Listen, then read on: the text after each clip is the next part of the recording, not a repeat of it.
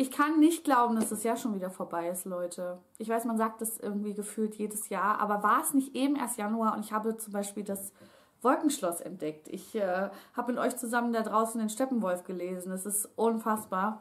Obwohl so viel passiert ist in diesem Jahr, hatte ich trotzdem das Gefühl, es ging so rum. Aber ich habe mich sehr gefreut. Ich habe mir eben die Zeit genommen und einfach wirklich mal überlegt, was waren meine Jahreshighlights? Was habe ich eigentlich dieses Jahr gelesen? Und ich war teilweise echt überrascht, dass manche Bücher doch dabei waren, wo ich, also ich habe wirklich gedacht, die wären schon, das wäre schon über ein Jahr her, dass ich die gelesen habe. War das ein guter deutscher Satz schon wieder? Wahrscheinlich nicht. Und ich zeige euch jetzt mal meine Jahreshighlights. Ich habe jetzt nicht gesagt, ich muss mich auf zehn Stück konzentrieren oder es dürfen nur fünf sein, sondern ich habe wirklich geguckt, welche Bücher, welche Geschichten haben mich berührt, haben mich unterhalten, haben mir Gänsehaut beschert, von welchen konnte ich einiges mitnehmen und vielleicht sogar was draus lernen. Und diese kommen jetzt. Viel Spaß mit meinen Jahreshighlights 2019 hier im Bücherland.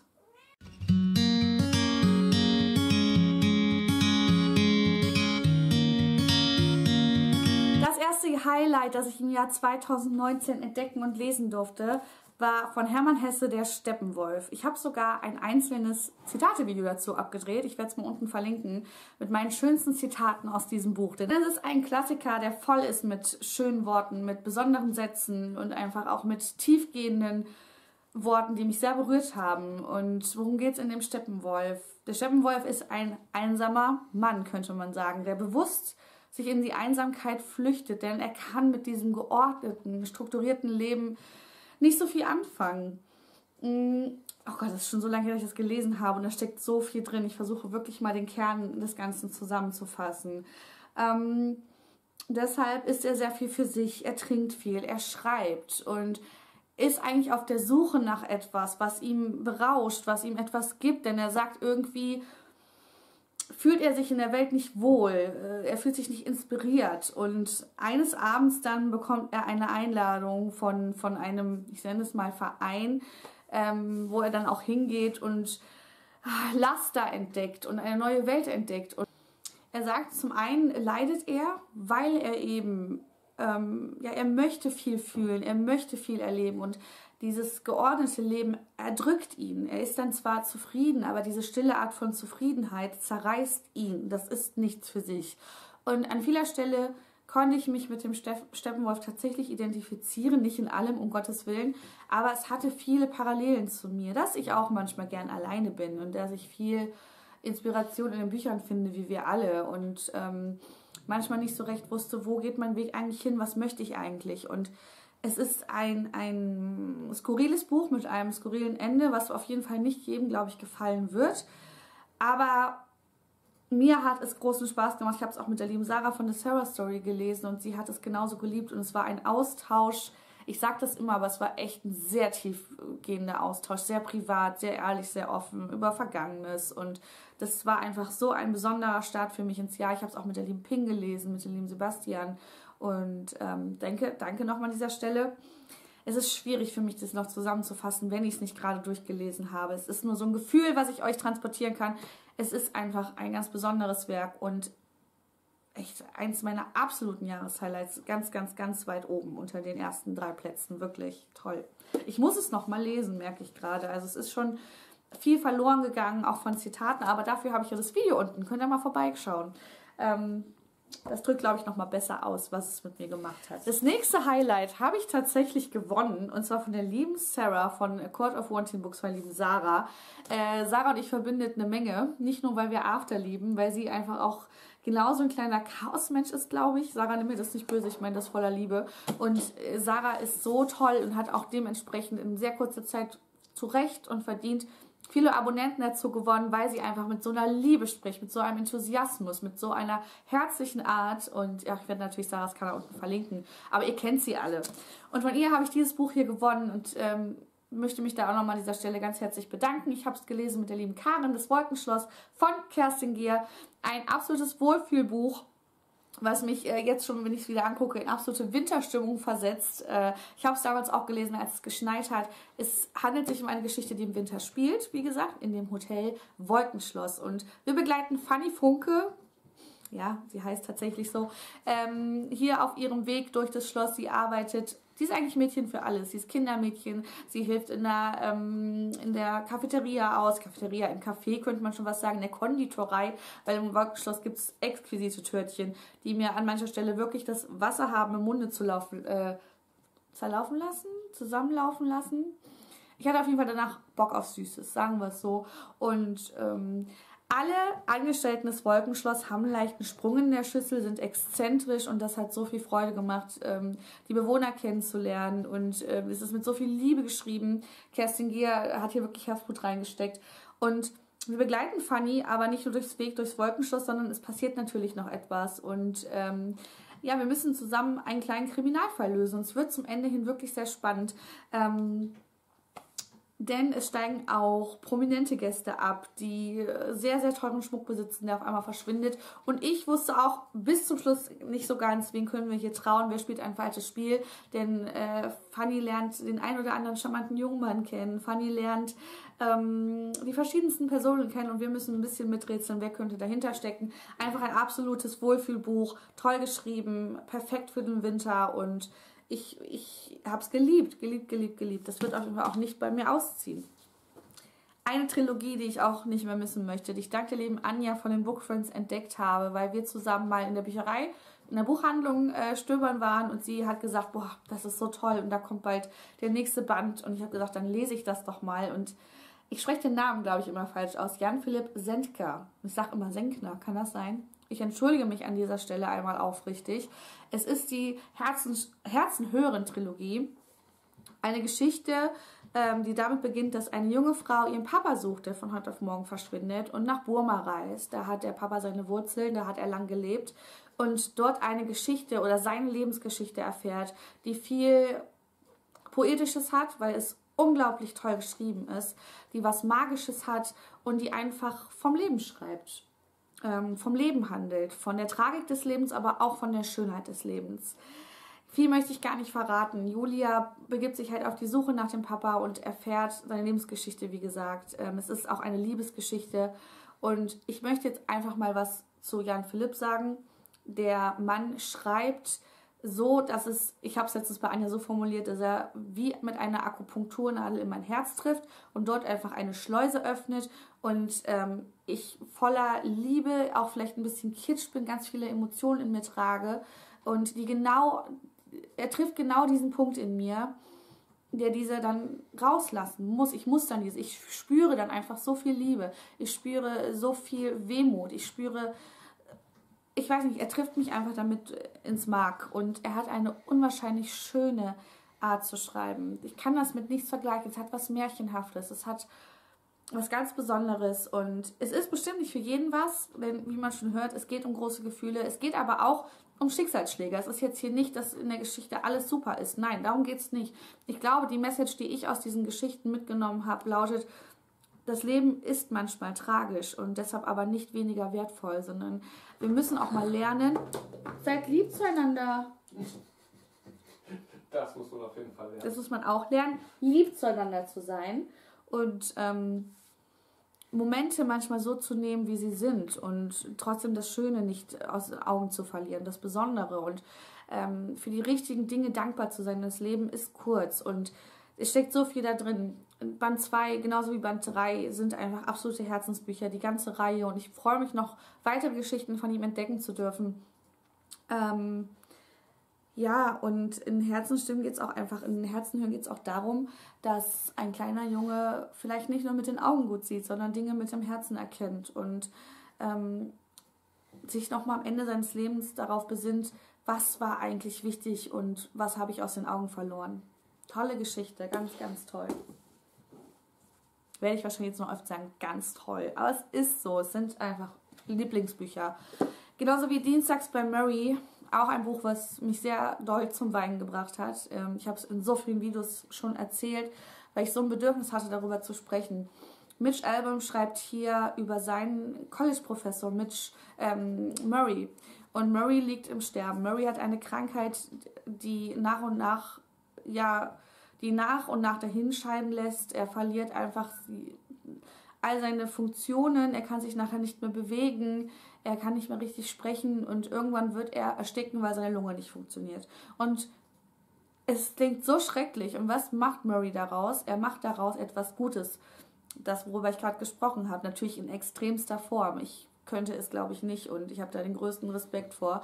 Murray sagt, ich nutze das als Chance, denn ich weiß, dass ich sterbe, dass ich bald sterbe und das, den, den Luxus haben nicht viele. Und ich möchte nochmal mich bei allen Menschen verabschieden. Ich möchte diesen Weg offen und transparent mit vielen Menschen teilen, um ihnen so ein bisschen den Schrecken zu nehmen, aber auch, um ihnen nochmal zu zeigen, was ist eigentlich wichtig im Leben und was geht einem durch den Kopf, während man sich von der Welt und seinen Liebsten verabschiedet. Und Murray macht das mit so viel Charakter.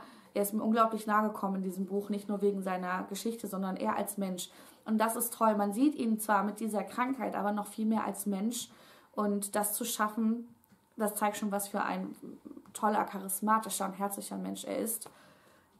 Ja, und ich merke, dass ich euch in diesem Video auch meistens, also fast zu 99,9 Prozent würde ich sogar fast schon sagen, Autoren oder Autorinnen vorstelle, die ich dieses Jahr auch erst neu für mich entdeckt habe. Und dazu gehört auch Joel Dicker, die Geschichte der Baltimores. Es ist eine Geschichte über eine tiefe Freundschaft, über eine tiefe Verbundenheit von Jungs, die nicht unterschiedlicher sein könnten. Und eine Geschichte, die mich auch tief bewegt hat und ich finde den Schreibstil von Judica auch nicht vergleichbar. Er hat schon was Eigenes. An mancher Stelle ähm, war es ein bisschen lang. Das hat mich aber nicht gestört, weil ich es trotzdem so gut erzählt fand. Ähm, in diesem Buch hier geht es um Markus und Markus schreibt die Geschichte seiner Familie nieder. Über, es gibt die äh, Goldmans aus Montclair und ähm, die äh, Goldmans aus Baltimore. Und Marcus Goldman schreibt diese Geschichte auf und spricht immer von die Katastrophe. Nur noch neun Monate bis zur Katastrophe. Und es passiert etwas sehr Schreckliches in diesem Buch. Aber ich fand es nicht so schlimm, ich kann es nicht erklären. Also dafür, dass er immer wieder von dieser Katastrophe gesprochen hat, ich glaube, da ist mit einem so die Fantasie durchgegangen, also so ging es mir auf jeden Fall, dass ich irgendwie was noch Größeres erwartet habe. Und ich finde, diesen Countdown hin zu der Katastrophe hätte es nicht gebraucht. Äh, das sind so die einzigen kleinen Kritikpunkte, die ich habe. Warum dieses Buch aber so besonders war, weil die Charaktere mich hier total berührt haben in ihrer Geschichte. Die waren facettenreich. Die waren einfach so gut dargestellt, dass sie mir wirklich nahe gekommen sind. Und die Jungs könnten nicht unterschiedlicher sein. Es gibt den einen mit der harten Schale, der aber auch eigentlich ganz... Meine Güte, was ist denn heute hier los? Ja, es gibt auf jeden Fall ähm, zwei Jungs, die unterschiedlich sein können, die sich ganz nahe kommen. Ähm, und Markus wetteifert immer so ein bisschen dem Leben der, seines Onkels nach, der reich ist, der ein stilvolles Leben hat, der toll mit seinem Sohn umgeht und möchte eigentlich so viel Zeit wie möglich dort verbringen. Doch auch dieses Leben hat Risse und hat ähm, Spuren, die Markus in seinem jungen Jahr noch nicht entdecken kann, aber dafür später. Und so viel kann ich gar nicht verraten, weil es einfach eine Geschichte ist, ähm, die zwar auf eine Katastrophe hinführt, die aber, finde ich, für mich einen roten Faden in dem Sinne hat, dass ganz viele verschiedene Lebensweisen dargestellt werden, ganz viele Charaktere vorgestellt werden, die uns nahe kommen. Ich möchte unbedingt im nächsten Jahr noch ein Buch von ihm lesen. Ähm, ja, ich kann nicht so viel mehr verraten. Es, ist, ähm, es steht hier schon. Es ist gerade zu magisch, wie Joe Dicker es schafft, dass man das Buch einmal angefangen nicht mehr aus der Hand legen kann. Wir empfehlen alle diese Fahrt nach Baltimore für, für ein verregnetes langes Wochenende. Reise und Genuss garantiert. Eine Schriftstellerin, die ich unbedingt dieses Jahr auch mal anlesen wollte oder deren Bücher ich mal anlesen wollte, war Mona Kasten.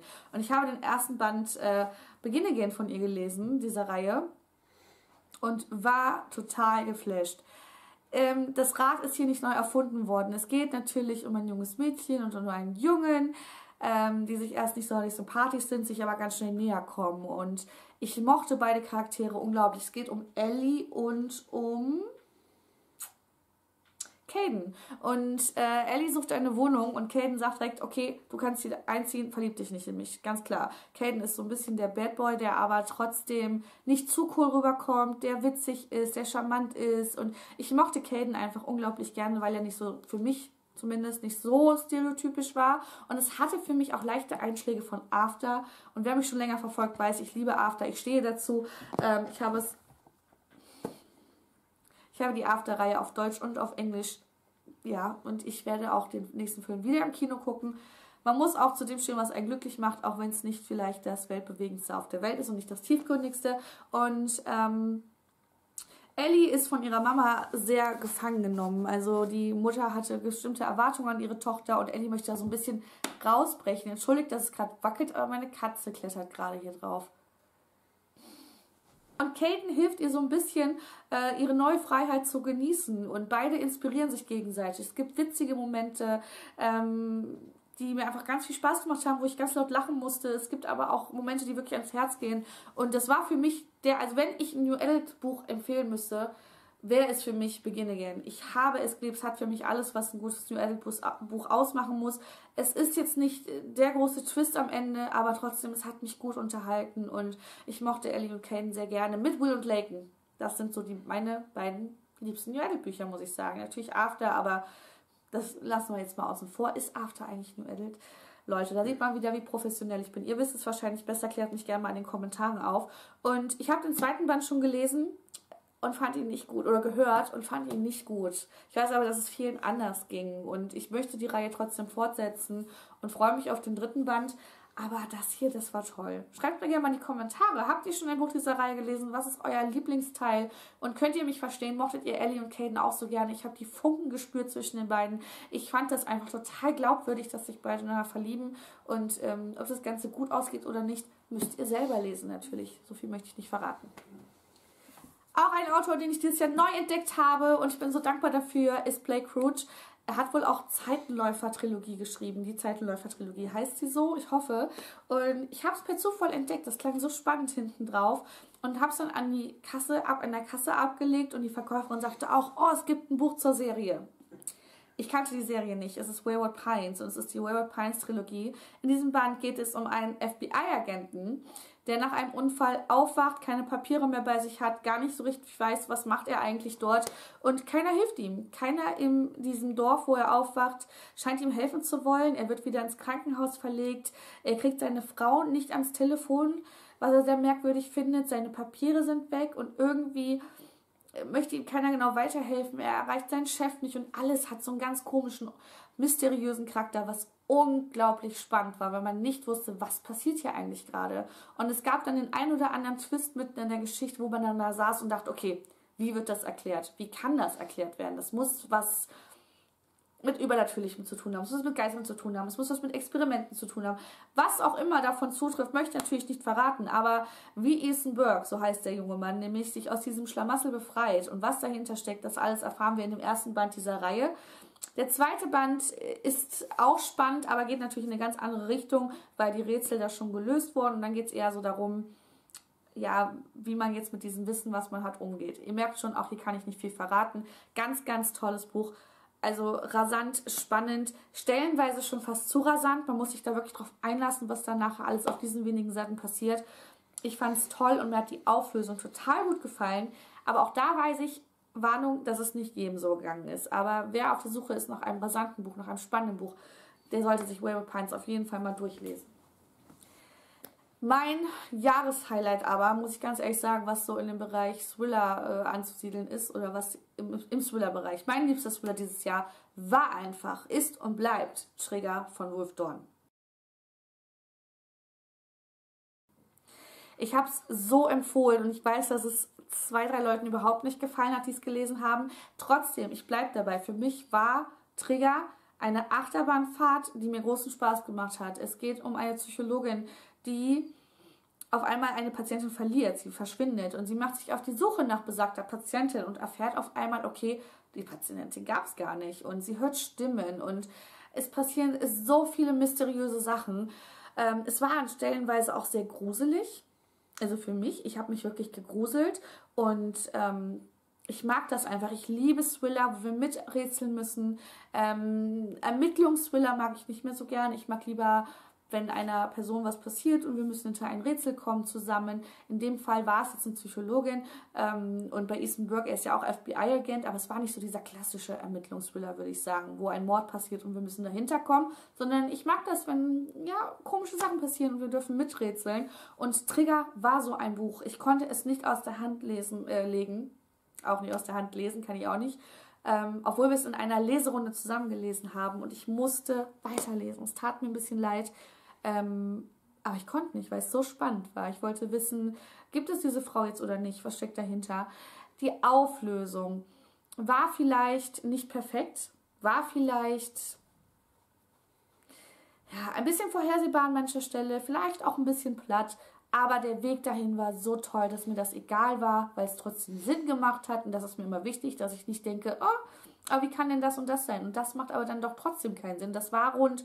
Ähm, und mir hat Spaß gemacht. Also Trigger von Wolf Dorn. Ich habe immer noch keinen zweiten Dorn gelesen. Ich habe Trigger nicht hier. Ich habe es bei Reaper bestellt. Und ich traue mich nicht mehr bei Reaper zu bestellen, weil meine Pakete zurzeit nicht wirklich hier ankommen. Ich muss immer sie zu ähm, woanders abholen, weil DHL meistens gar nicht bei uns klingelt, sondern nur unten und wenn überhaupt meistens gar nicht und direkt den Schein reinschmeißt, habe ich alles schon erlebt.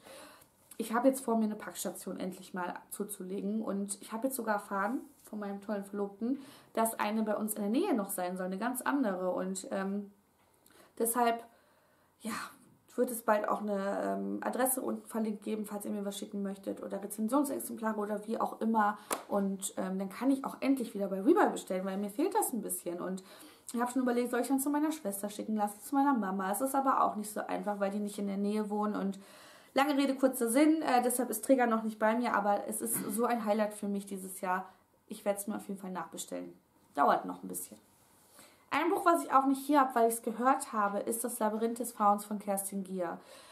Ähm, das ist die, ähm, das Buch zum Film Pans Labyrinth und Cornelia Funke hat nochmal ganz eigene Sequenzen neu geschrieben und märchenhafte ähm, Kapitel dazu geschrieben, die mir super gut gefallen haben. Es geht, es geht um ein Mädchen, das während des Kriegs sich ihre eigene Märchenwelt fantasiert oder eben nicht, das weiß man nicht so genau. Denn eines Abends auf einmal ähm, es geht um Ophelia, bekommt sie Besuch von einer kleinen Elfe und äh, sie führt sie in ein unterirdisches Reich, wo Pan auf sie wartet. Und Pan sagt ihr, du bist eigentlich eine Prinzessin, du musst drei Aufgaben bestehen. Und wenn du diese schaffst, dann darfst du zu uns zurückkommen und bist wieder unsere, ja, Prinzessin. Und ähm, man weiß nicht so ganz, was ist märchenhaft, was ist vielleicht dazu gedichtet.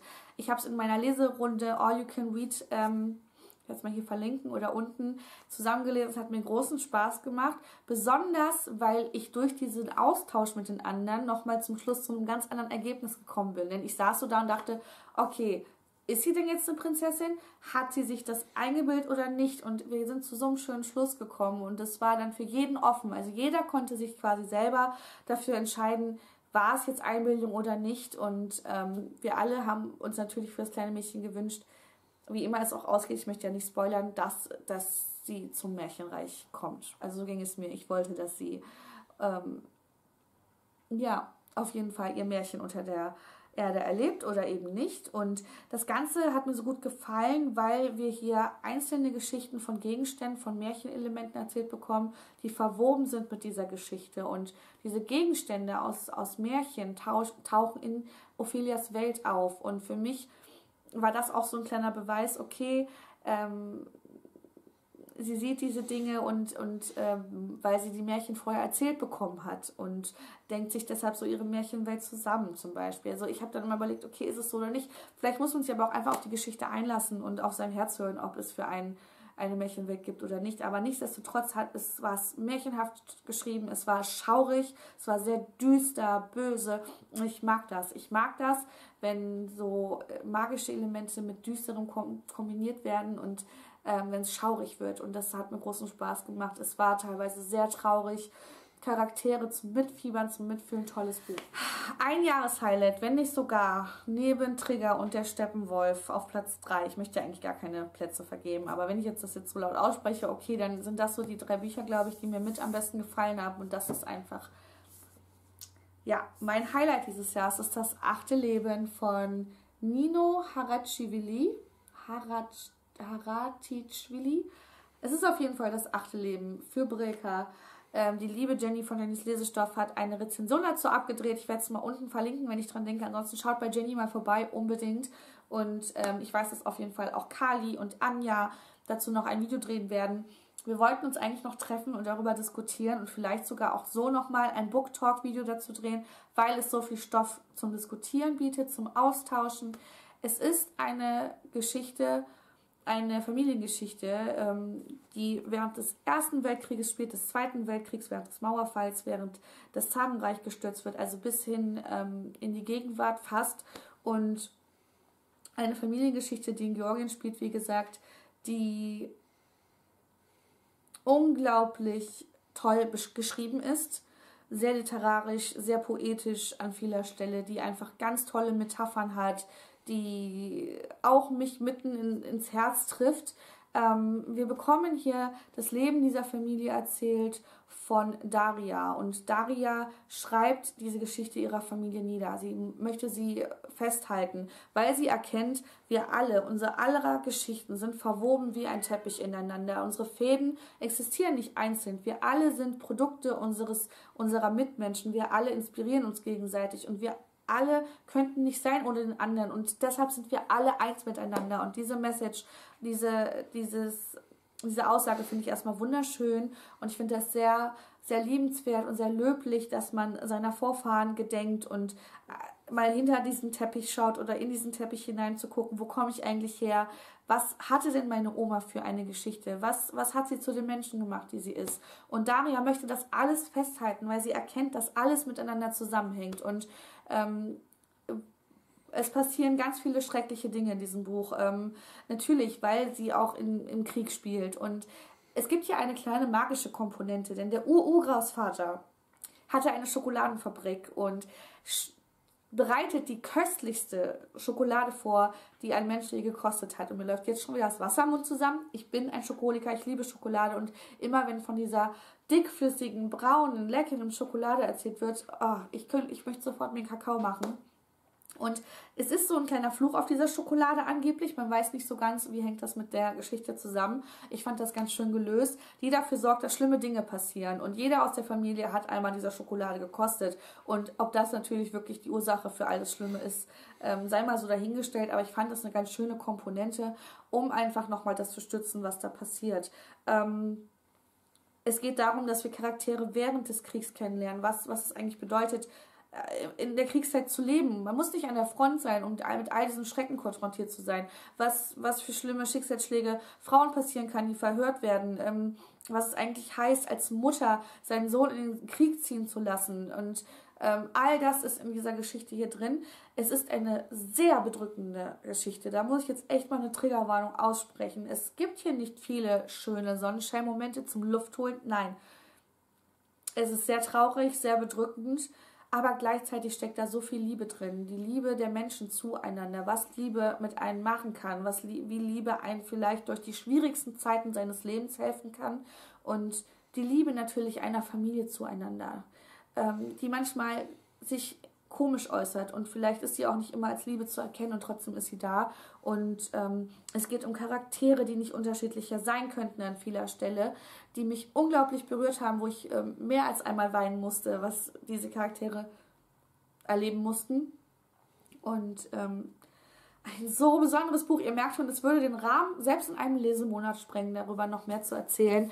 Ähm, und ich möchte diesem Buch gerecht werden. Das heißt, wenn ich noch mehr in diese Geschichte, zu dieser Geschichte sage, dann in einem Book Talk. Ich möchte aber nichts versprechen. Ansonsten schaut euch unbedingt Jennys Rezension an. Ähm, es hat mir so viel gegeben, weil es natürlich im Krieg spiel, spielt und man so viel Schicksalsschläge erlebt, weiß man einfach nochmal die Dinge ganz anders zu schätzen. Man geht anders durch die Welt, so ging es mir und ähm, es hat mich verzaubert, es hat mich zu Tränen gerührt und es hat mich sehr traurig gemacht auch. Aber das alles, Schmerz ist ja auch ein Teil des Lebens und auch zu was gut und ein, ein ganz besonderes Buch, Leute. Toll. Es ist sehr dick. Ich war auch ein Schlusslicht in dieser Leserunde. Ich brauchte immer mal Pause, um das Ganze zu verdauen. Es ist ein schweres Buch. Ich konnte es nicht immer mit in die Bahn nehmen. Und trotz allem bin ich so dankbar dafür, dass die liebe Jenny es mir zum Geburtstag geschenkt hat. Ähm, ich hätte es sonst auch nicht entdeckt. Da möchte ich mich jetzt auch nochmal bedanken. Ihr merkt, viele Bücher habe ich dank euch da draußen entdeckt und dafür hat sich Booktube schon gelohnt, nicht nur durch den Austausch mit euch, sondern auch durch die Inspiration. Vielen Dank an dieser Stelle, dass ich dank euch so tolle, wertvolle Geschichten entdecken darf, die mich im Leben weiterbringen, die mich fühlen lassen und die mir einfach Spaß machen.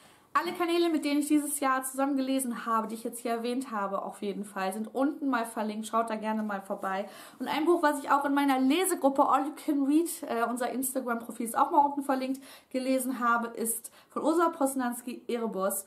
Und es war war es unser erstes Buch, Leute? Ich kann es nicht glauben, oder? Ich bin mir gerade nicht sicher. Ähm, auf jeden Fall glaube ich in der Konstellation, in der wir jetzt sind. Und ähm, Ursula Postanski habe ich letztes Jahr entdeckt und auch geliebt. Sekulum war mein erster Postanski. Ich möchte unbedingt noch weitere von ihr, Bücher von ihr lesen. Es ist ein Jugendbuch, was total spannend ist. Und zwar geht es um ein Computerspiel ein Computerspiel, ähm, das dir Aufgaben stellt in der Wirklichkeit, die du zu erfüllen hast. Keiner darf über dieses Spiel sprechen und man merkt schon, das Buch hat nicht immer nur gute Absichten. Es setzt dich unter Druck, es zwingt dich zum Mitspielen, es manipuliert dich und es hat natürlich ein großes Ziel, was es verfolgt. Was genau dahinter steckt, weiß man bis zum Schluss nicht. Ähm, es ist vielleicht so ein bisschen konstruiert, das Ende, auch im zweiten Buch, aber nichtsdestotrotz hat mir das Miträtseln großen Spaß gemacht, weil man natürlich denkt, okay, wer spielt denn mit und wer könnte dahinter stecken und wer benimmt sich komisch und ähm, ich fand auch die Spielsequenzen so toll. Ich bin jetzt nicht der Mega-Zocker, aber so Age of Empire oder mal Monkey Island oder so habe ich schon gern gespielt. Und ich fand das so toll, dass es so eine Mischung aus Fantasy war, weil man halt in diese Spielsequenz, die so ein bisschen was von, ähm, womit kann man es vergleichen? Äh, World of Warcraft vielleicht hat. Also man kann Elf spielen, Vampir, ein Dunkelelf, ein Zwerg und das fand ich cool, dass es so eine Mischung war und aus der Realität, in dem halt Aufgaben gelöst werden müssen und wir begleiten hier Nick, der nicht unbedingt der sympathischste Charakter ist. Es ist halt ein junger, ein junger Spieler, der sich total manipulieren lässt, aber ist auch glaubwürdig. Also wer einmal in so einer Gaming-Welt gefangen ist, ich glaube, wir alle kennen so jemanden. Mein Freund sitzt übrigens gerade da und zockt. ähm, und ich fand es toll geschrieben. Posnanski hat einfach einen coolen Schreibstil. Ich blätter da so durch und ich mochte es. Und ähm, es, also Erebos ist ein Spiel, es beobachtet dich, es spricht mit dir, es belohnt dich, es prüft dich und es droht dir. Ich fand den zweiten nicht ganz so rund wie den hier, weil wir beim zweiten so manche Fährten bekommen haben, die mich so ein bisschen in die Irre geführt haben, die irgendwie gar nirgendwo hingeführt haben. Das hat mir nicht so gut gefallen. Trotzdem hat der zweite auch unglaublich viel Spaß gemacht. Ähm, ich mochte auch die Charakterentwicklung von Nick im zweiten Band sehr gerne, aber das hier war zum Schluss auch wirklich nochmal spannend und hat Spaß gemacht und ja, war einfach toll. Ja, das waren meine Bücher dieses Jahr. Es war auf jeden Fall viel mit Gefühl dabei. Ich habe mal Bücher gelesen, ähm, die so ein bisschen anders waren, zu denen ich sonst nicht gegriffen hätte. Und was soll ich sagen? Ihr seht, genau diese sind in meinen Jahreshighlights gelandet. Also möchte ich noch mehr Neues wagen nächstes Jahr. Ich möchte mehr Fantasy lesen. Ich möchte mehr Sachbücher lesen. Ich möchte mehr Romane lesen, äh, zu denen ich vielleicht sonst nie greifen würde, die in anderen Ländern spielen. Das hat mir auch großen Spaß gemacht, ähm, mehr zu reisen in den Geschichten und einfach mich inspirieren zu lassen. Denn darum geht es ja auch beim Lesen, auch den Horizont zu erweitern. Und ich möchte mich bei euch allen bedanken, wenn ihr Lust habt, ähm, sehen wir uns im neuen Jahr wieder. Ich weiß nicht, ob das hier mein letztes Video wird. Es könnte sein. Ich wünsche euch auf jeden Fall einen guten Rutsch. Bleibt bunt, meine Lieben. Vielen Dank für dieses ganz besondere Jahr und ähm, bis bald.